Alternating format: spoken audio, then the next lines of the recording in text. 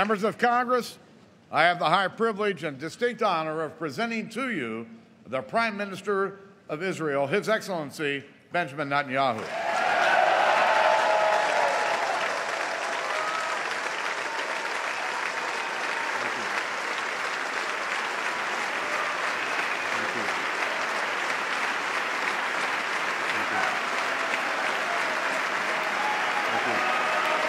Thank you. Thank you. Speaker of the House, John Boehner, President uh, Pro Temp, Senator Orrin Hatch, Senate Minority, Majority Leader Mitch McConnell, House Minority Leader Nancy Pelosi, and House Majority Leader Kevin McCarthy. I also want to acknowledge Senator uh, Democratic Leader Harry Reid. Harry, it's good to see you back on your feet.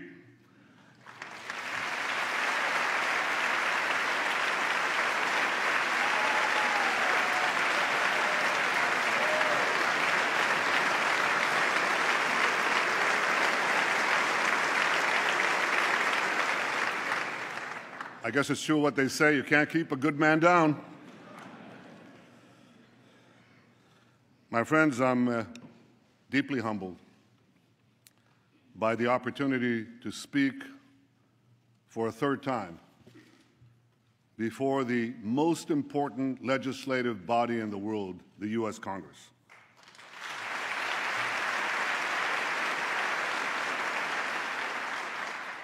I want to thank you all for being here today. I know that uh, my speech has been the subject of much controversy. I deeply regret that some perceive my being here as political. That was never my intention. I want to thank you, Democrats and Republicans, for your common support for Israel, year after year, decade after decade.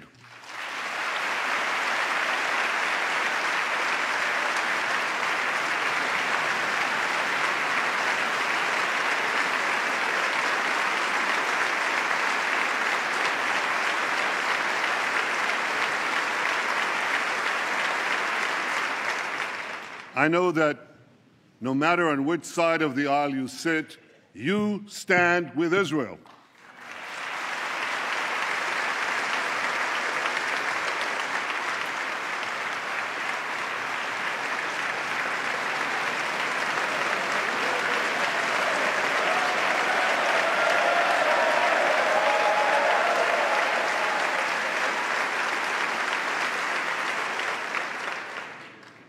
The remarkable alliance between Israel and the United States has always been above politics. It must always remain above politics.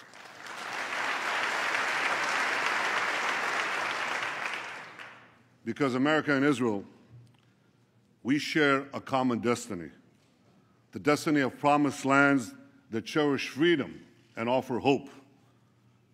Israel is grateful for the support of American of America's people and of America's presidents, from Harry Truman to Barack Obama.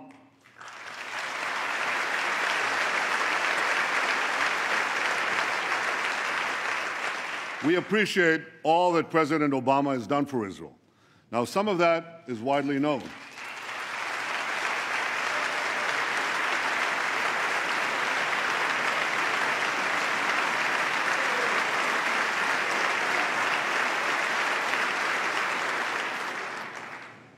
Some of that is widely known, like strengthening security cooperation and intelligence sharing, opposing anti-Israel resolutions at the UN.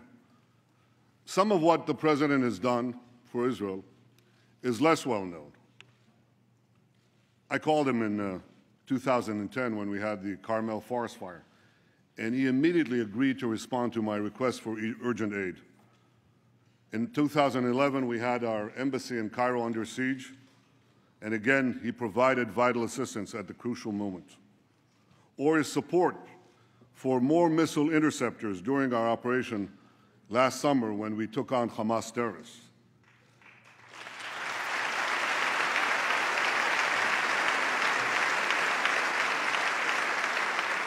In each of those moments, I called the president, and he was there.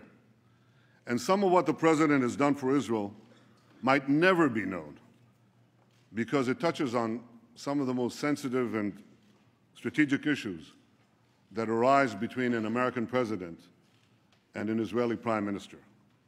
But I know it, and I will always be grateful to President Obama for that support.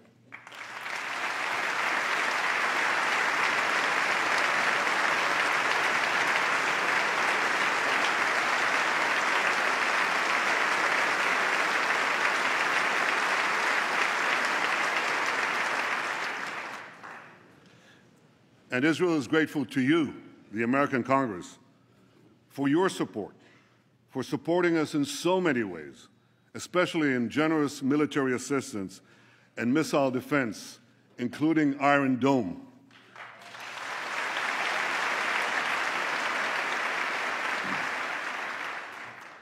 Last summer, millions of Israelis were protected from thousands of Hamas rockets because this Capitol Dome helped build our Iron Dome.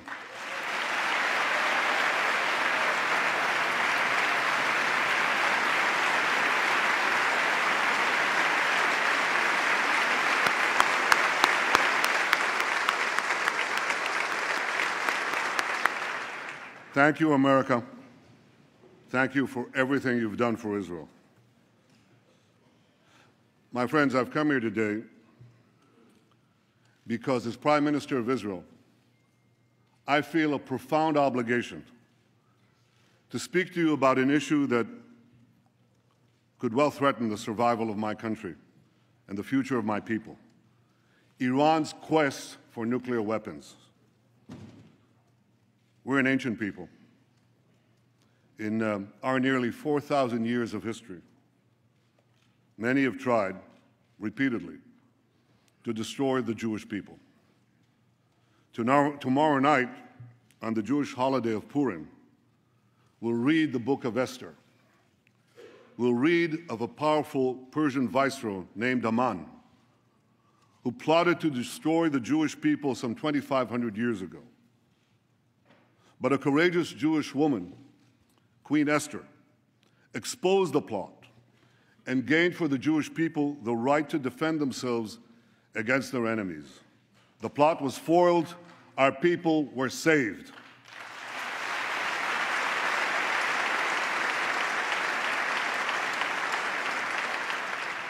Today, the Jewish people face another attempt by yet another Persian potentate to destroy us.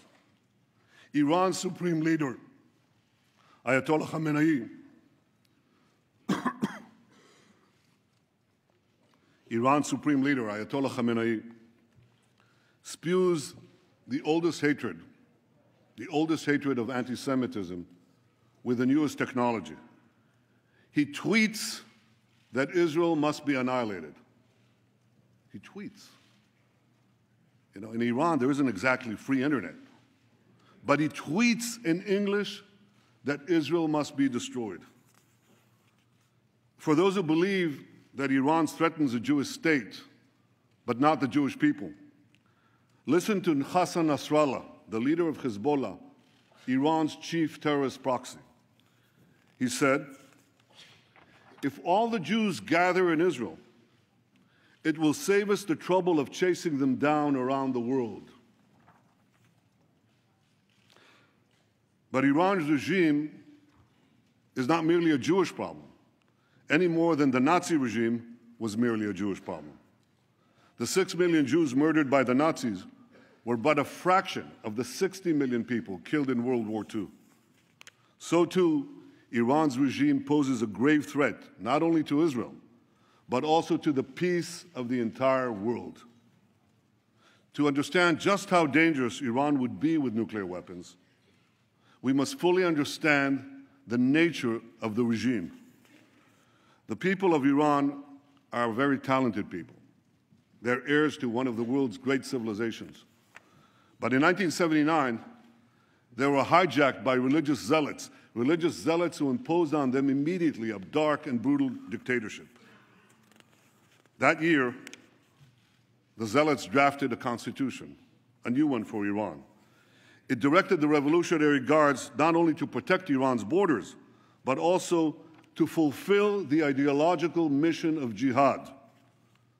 The regime's founder, Ayatollah Khomeini, exhorted his followers to export the revolution throughout the world. I'm standing here in Washington, D.C., and it, the difference is so stark. America's founding document promises life, liberty, and the pursuit of happiness. Iran's founding document pledges death, tyranny, and the pursuit of jihad. And as states are collapsing across the Middle East, Iran is charging into the void to do just that. Iran's goons in Gaza, its lackeys in Lebanon, its revolutionary guards on the Golan Heights are clutching Israel with three tentacles of terror. Backed by Iran, Assad is slaughtering Syrians. Backed by Iran, Shiite militias are rampaging through Iraq. Backed by Iran, Houthis are seizing control of Yemen, threatening the strategic straits at the mouth of the Red Sea. Along with the Straits of Hormuz, that would give Iran a second choke, choke point on the world's oil supply. Just last week, near Hormuz, Iran carried out a military exercise blowing up a mock U.S. aircraft carrier. That's just last week, while they're having nuclear talks with the United States.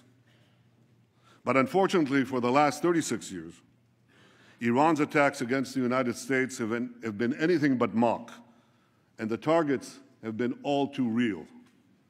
Iran took dozens of Americans hostage in Tehran, murdered hundreds of American soldiers, Marines in Beirut, and was responsible for killing and maiming thousands of American servicemen and women in Iraq and Afghanistan. Beyond the Middle East, Iran attacks America and its allies through its global terror network. It blew up the Jewish Community Center and the Israeli embassy in Buenos Aires.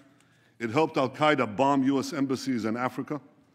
It even attempted to assassinate the, the Saudi ambassador right here in Washington, D.C. In the Middle East, Iran now dominates four Arab capitals Baghdad, Damascus, Beirut, and Sana'a. And if Iran's aggression is left unchecked, more will surely follow.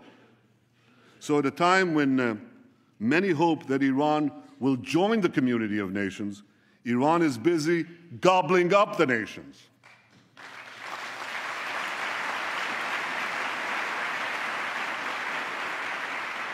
We must all stand together to stop Iran's march of conquest, subjugation, and terror.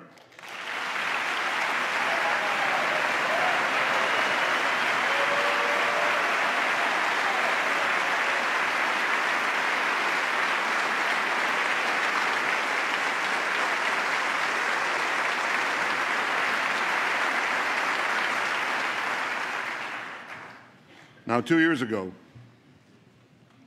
we were told to uh, give President Rouhani and Foreign Minister Zarif a chance to bring change and moderation to Iran.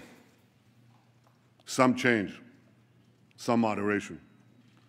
Rouhani's government hangs gays, persecutes Christians, jails journalists, and executes even more prisoners than before. Last year, the same Zarif who charms Western diplomats, laid a wreath at the grave of Imad Mughniyeh. Imad Mughniyeh is the terrorist mastermind who spilled more American blood than any other terrorist besides Osama bin Laden. I'd like to see someone ask him a question about that. Iran's regime is as radical as ever. Its cries of death to America, that same America that it calls the great Satan, as loud as ever. Now, this shouldn't be surprising because the ideology of Iran's revolutionary regime is deeply rooted in militant Islam. And that's why this regime will always be an enemy of America. And don't be fooled. The battle between Iran and ISIS doesn't turn Iran into a friend of America. Iran and ISIS are competing for the crown of militant Islam. One calls itself the Islamic Republic, the other calls itself the Islamic State. Both want to impose a militant Islamic empire, first on the region and then on the entire world. They just disagree among themselves who will be the ruler of that empire. In this deadly game of thrones, there's no place for America or for Israel, no peace for Christians, Jews, or Muslims who don't share the Islamist medieval creed, no rights for women, no freedom for anyone. So when it comes to Iran and ISIS, the enemy of your enemy is your enemy.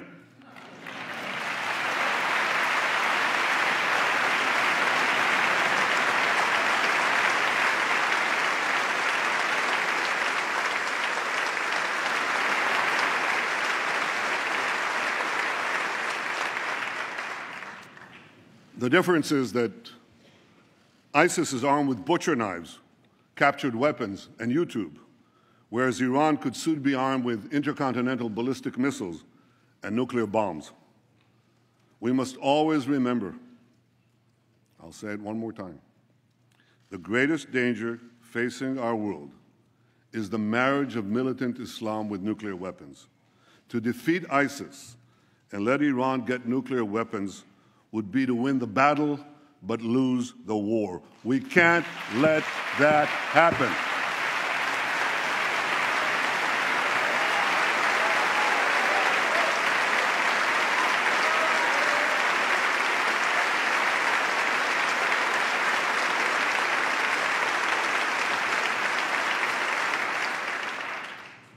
But that, my friends, is exactly what could happen if the deal now being negotiated is accepted by Iran. That deal will not prevent Iran from developing nuclear weapons. It would all but guarantee that Iran gets those weapons, lots of them. Let me explain why. While the final deal has not yet been signed, certain elements of any potential deal are now a matter, matter of public record. You don't need um, intelligence agencies and secret information to know this. You can Google it.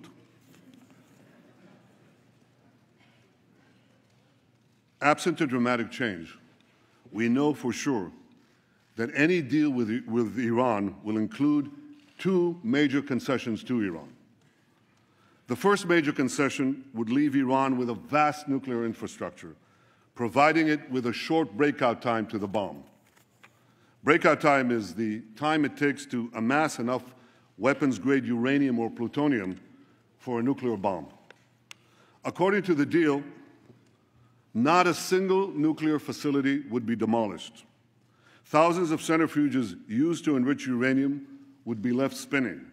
Thousands more would be temporarily disconnected, but not destroyed. Because Iran's nuclear program would be left largely intact, Iran's breakout time would be very short, about a year by U.S. assessment, even shorter by Israel's. And if, uh, if Iran's work on advanced centrifuges, faster and faster centrifuges, is not stopped, that breakout time could still be shorter, a lot shorter. True, certain restrictions would be imposed on Iran's nuclear program, and Iran's adherence to those restrictions would be supervised by international inspectors. But here's the problem. You see, inspectors document violations. They don't stop them. Inspectors knew when North Korea broke to the bomb, but that didn't stop anything. North Korea turned off the cameras, kicked out the inspectors. Within a few years, it got the bomb. Now we're warned that within five years, North Korea could have an arsenal of 100 nuclear bombs. Like North Korea, Iran too has defied international inspectors. It's done that on at least three separate occasions 2005, 2006, 2010. Like North Korea, Iran broke the locks, shut off the cameras. Now, I know this is not going to come a shock, as a shock to any of you, but Iran not only defies inspectors, it also plays a pretty good game of hide and cheat with them. The UN's uh, nuclear watchdog agency, the IAEA, said again yesterday that Iran still refuses to come clean about its military nuclear program. Iran was also caught, caught twice, not once, twice, operating secret nuclear facilities in Natanz and Qom, facilities that inspectors didn't even know existed. Right now, Iran could be hiding nuclear facilities that we don't know about, the U.S. and Israel. As the former head of inspections for the IAEA said in 2013, he said, if there's no undeclared installation today in Iran, it'll be the first time in 20 years that it doesn't have one. Iran has proven time and again that it cannot be trusted. And that's why the first major concession is a source of grave concern. It leaves Iran with a vast nuclear infrastructure and relies on inspectors to prevent a breakout. That, create, that concession creates a real danger that Iran could get to the bomb by violating the deal. But the second major concession creates an even greater danger that Iran could get to the bomb by keeping the deal. Because virtually all the restrictions on Iran's nuclear program will automatically expire in about a decade. Now, a decade may seem like a long time in political life, but it's the blink of an eye in the life of a nation. It's a blink of an eye in the life of our children. We all have a responsibility to consider what will happen when Iran's nuclear capabilities are virtually unrestricted and all the sanctions will have been lifted. Iran would then be free to, to build a huge nuclear capacity that could produce many, many nuclear bombs. Iran's supreme leader says that openly. He says Iran plans to have 190,000 centrifuges, not 6,000 or even the 19,000 that Iran has today, but 10 times that amount. 190,000 centrifuges enriching uranium. With this massive capacity, Iran could make the fuel for an entire nuclear arsenal and this in a matter of weeks, once it makes that decision. My longtime friend, John Kerry, Secretary of State, confirmed last week that Iran could legitimately possess that massive centrifuge capacity when the deal expires. Now, I want you to think about that. The former sponsor, the foremost sponsor of global terrorism, could be weeks away from having enough enriched uranium for an entire arsenal of nuclear weapons, and this with full international legitimacy. And by the way, if Iran's intercontinental ballistic missile program is not part of the deal, and so far, Iran refuses to even put it on the negotiating table. Well, Iran could have the means to deliver that nuclear arsenal to the far reach corners of the earth, including to every part of the United States. So you see, my friends, this deal has two major concessions. One, leaving Iran with a vast nuclear program. And two, lifting the restrictions on that program in about a decade. That's why this deal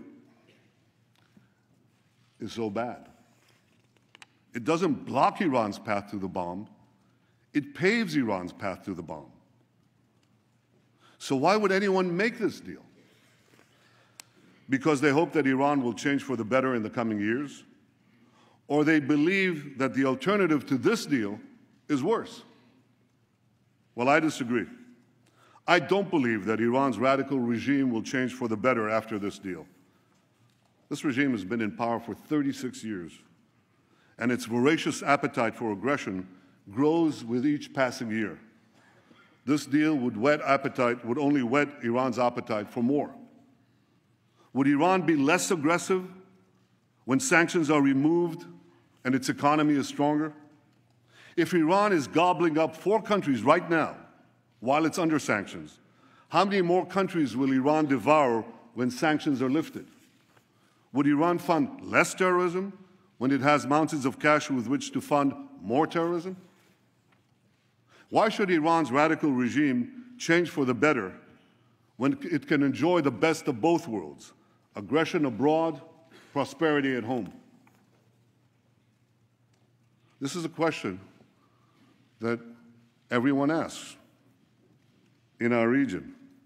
Israel's neighbors, Iran's neighbors, know that Iran will become even more aggressive and sponsor even more terrorism when its economy is unshackled and it's been given a clear path to the bomb. And many of these neighbors say they'll respond by racing to get nuclear weapons of their own. So this deal won't change Iran for the better. It will only change the Middle East for the worse. A deal that's supposed to prevent nuclear proliferation would instead spark a nuclear arms race in the most dangerous part of the planet. This deal won't be a farewell to arms, it would be a farewell to arms control. And the Middle East would soon be crisscrossed by nuclear tripwires. A region where small skirmishes can trigger big wars would turn into a nuclear tinderbox. If anyone thinks, if anyone thinks this deal kicks the can down the road, think again.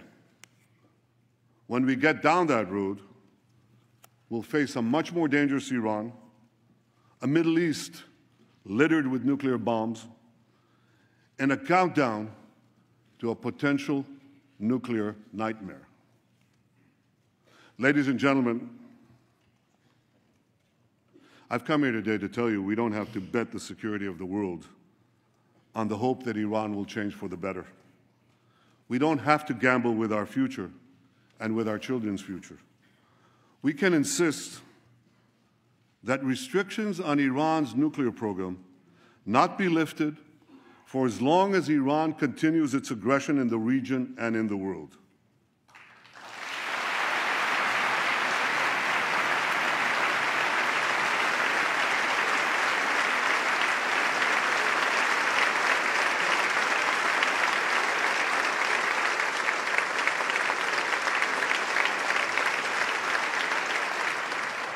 Before lifting those restrictions, the world should demand that Iran do three things.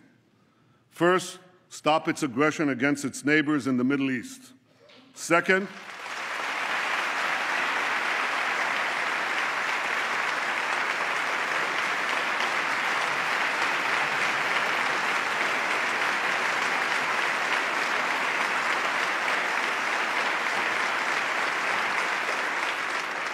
Second, stop supporting terrorism around the world.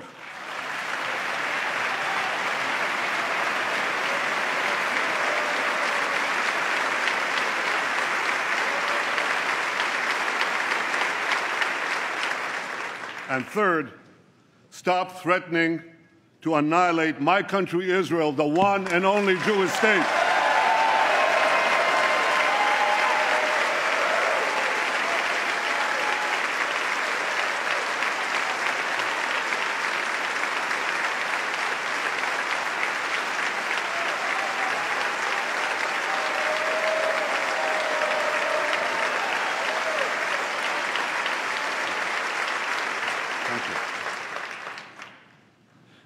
If the world powers are not prepared to insist that Iran change its behavior before a deal is signed, at the very least, they should insist that Iran change its behavior before a deal expires.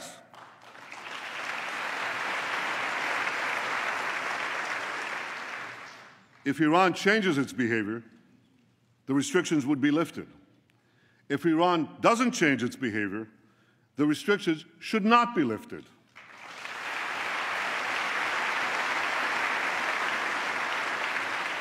If Iran wants to be treated like a normal country, let it act like a normal country.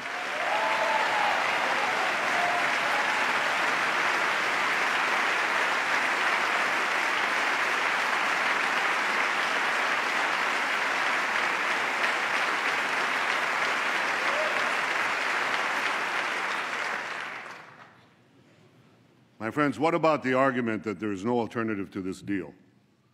That Iran's nuclear know-how cannot be erased, that its nuclear program is so advanced that the best we can do is delay the inevitable, which is essentially what the proposed deal seeks to do. Well, nuclear know-how without nuclear infrastructure doesn't get you very much. A race car driver without a car can't drive. A pilot without a plane can't fly.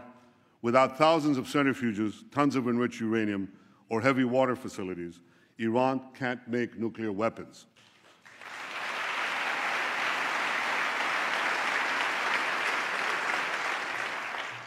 Iran's nuclear program can be rolled back well beyond the current proposal by insisting on a better deal and keeping up the pressure on a very vulnerable regime, especially given the recent collapse in the price of oil.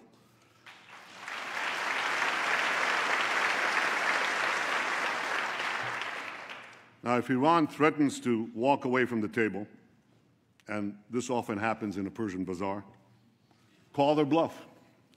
They'll be back because they need the deal a lot more than you do.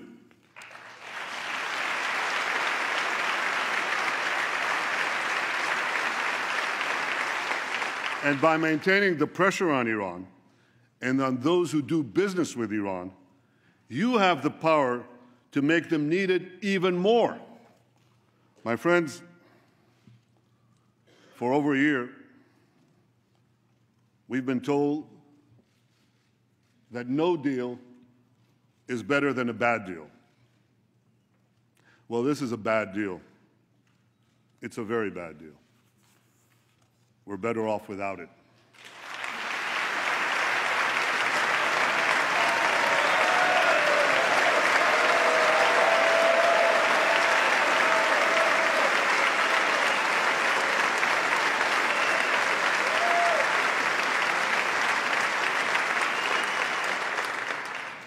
Now we're being told that the only alternative to this bad deal is war.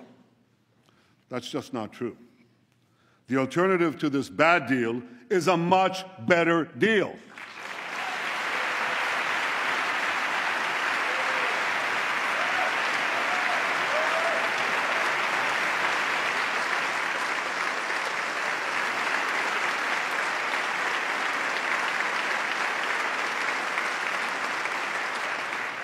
Better deal that doesn't leave Iran with a vast nuclear infrastructure and such a short breakout time. A better deal that keeps the restrictions on Iran's nuclear program in place until Iran's aggression ends.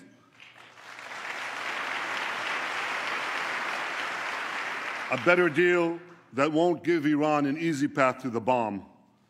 A better deal that Israel and its neighbors may not like, but with which we could live, literally. And no country, no country has a greater stake, no country has a greater stake than Israel in a good deal that peacefully removes this threat. Ladies and gentlemen, history has placed us at a fateful crossroads. We must now choose between two paths. One path leads to a bad deal that will at best curtail Iran's nuclear ambitions for a while. But it will inexorably lead to a nuclear armed Iran whose unbridled aggression will inevitably lead to war. The second path, however difficult, could lead to a much better deal that would prevent a nuclear armed Iran, a nuclearized Middle East, and the horrific consequences of both to all of humanity. You don't have to read Robert Frost to know. You have to live life. To know that the difficult path is usually the one less traveled. But it will make all the difference for the future of my country, the security of the Middle East, and the peace of the world, the peace we all desire.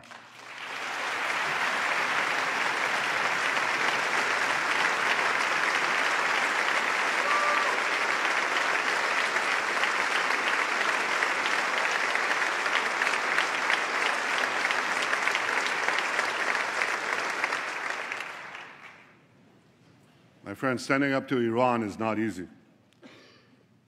Standing up to dark and murderous regimes never is. With us today is Holocaust survivor and Nobel Prize winner Elie Wiesel.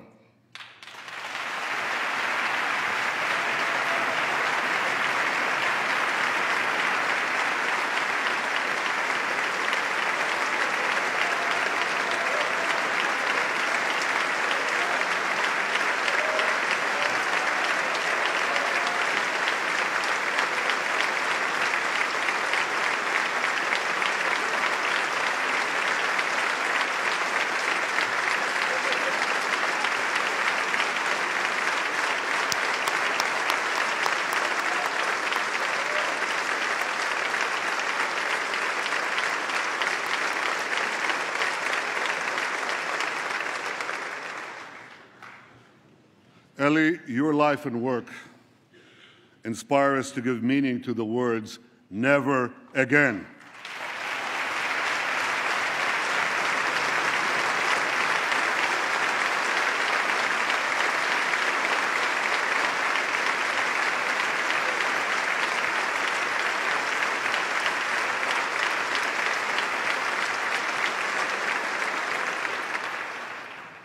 And I wish I could promise you, Elie, that the lessons of history have been learned. I can only urge the leaders of the world not to repeat the mistakes of the past.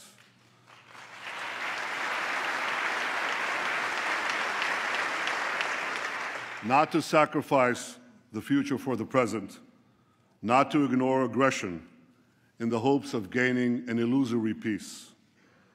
But I can guarantee you this the days when the Jewish people remained passive in the face of genocidal enemies, those days are over.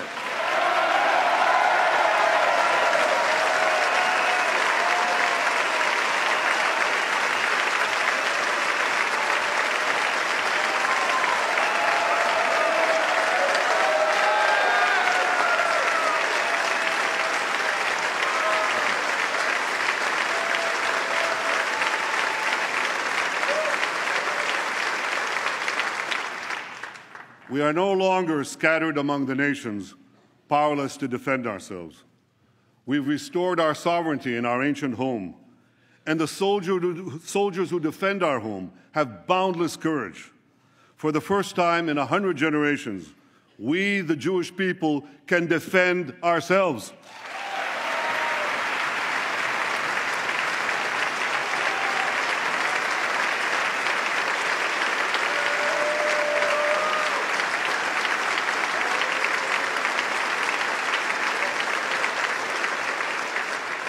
This is why, this is why, as Prime Minister of Israel, I can promise you one more thing. Even if Israel has to stand alone, Israel will stand.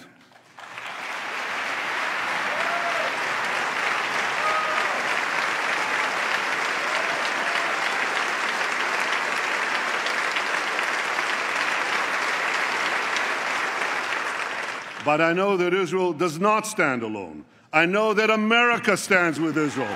I know that you stand with Israel.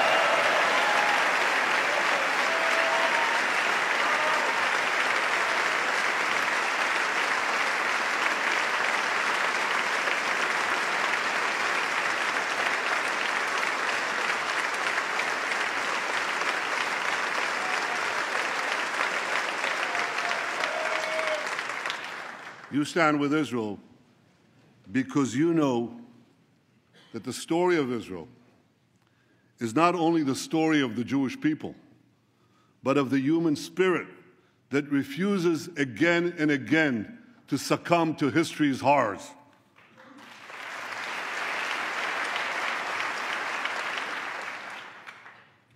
Facing me, right up there in the gallery, overlooking all of us in this august chamber is the image of Moses.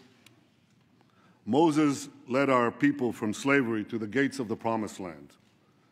And before the people of Israel entered the land of Israel, Moses gave us a message that has steeled our resolve for thousands of years. I leave you with his message today. חזקו ואמצו, אל תיראו ואל תערצו מפניהם. be strong and resolute, neither fear nor dread them. My friends, may Israel and America always stand together, strong and resolute. May we neither fear nor dread the challenges ahead. May we face the future with confidence, strength, and hope. May God bless the state of Israel, and may God bless the United States of America.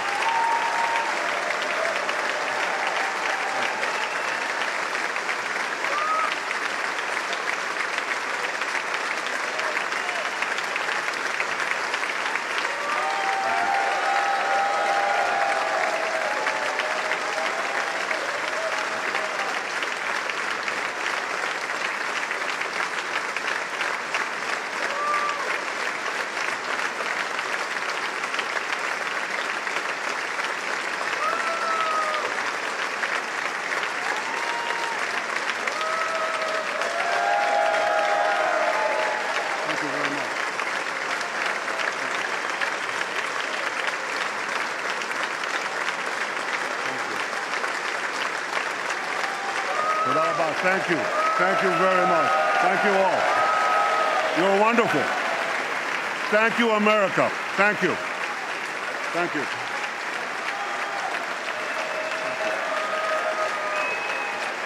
Thank you.